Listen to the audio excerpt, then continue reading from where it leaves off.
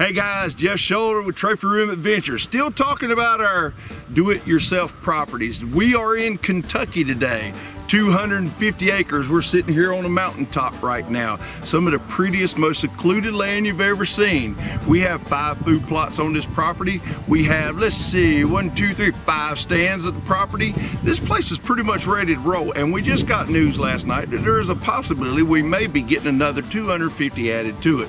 Now, if you're looking for a great place of seclusion for you and your friends to hit in Kentucky, this is it. You need to come check it out. Now, just for a little extra information, I would like for you to check out sometime a song done by Tom T. Hall called 1971.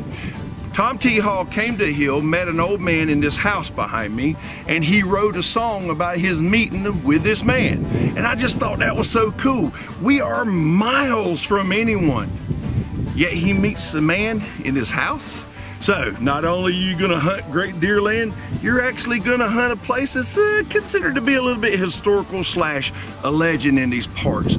We're just outside of Olive Hill, a big town there. Uh, plenty of food there, there's lodging in the area. So please guys, check out this spot here in Kentucky. We're really excited about the potential and everything here in Kentucky. A lot of people like hunting it for the chance to, for getting a, a, a buck that's still in velvet all right, because the season does come in a little bit earlier here versus other states. So give us a call, Trophy Room Adventures, check us out.